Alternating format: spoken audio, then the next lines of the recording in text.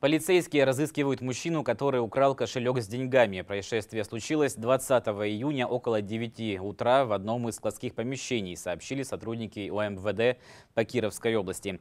На вид мужчине 30 лет, рост 175 сантиметров. В день кражи был одет в серую футболку, черные штаны и черные кроссовки.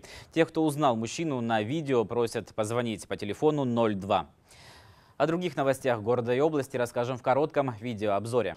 Кирове появится четыре новых отделения почты. Об этом сообщили в правительстве области. В июле одно из них откроется по адресу улица Металлургов, 10. Оно будет специализироваться на обслуживании жителей филейки районного ЦМ. В августе новое отделение появится в Коминтерне по адресу Павла Корчагина, 213. В сентябре-октябре в аэропорту Победиловой в микрорайоне Чистые пруды.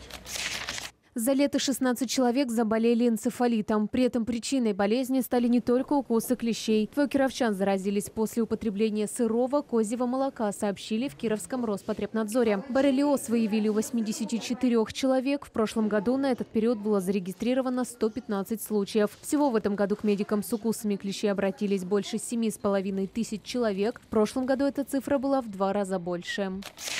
Обновленный ботанический сад откроют до конца июля. Сейчас там ремонтируют водоемы и дорожки, рассказал директор сада Всеволод Езимов. Также старую советскую плитку там заменят на новую. Изменится после ремонта и реконструкция Черного моря. Запланирована красивая облицовка голубой мозаикой, выложен натуральным камнем спуск к морю. Им же облицована часть бассейна. Открыться после ремонта ботанический сад должен был в конце мая, однако из-за погоды сроки сдвинулись. Сейчас планируется, что пускать посетителей туда начнут в течение ближайших ближайших двух недель.